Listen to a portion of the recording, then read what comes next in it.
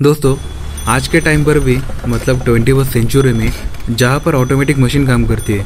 और आपने देखा होगा कि गन्ने की मशीन भी ऑटोमेटिक होती है। वही, कई जगह पर ऐसी पुरानी टेक्निक से गन्ने का जूस निकाला जाता है।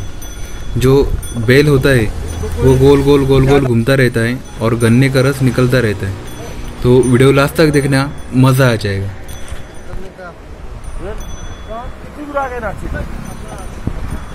कितना ये कल घुमा ये नासिक को घुमा है ये कौन सा होता गाँव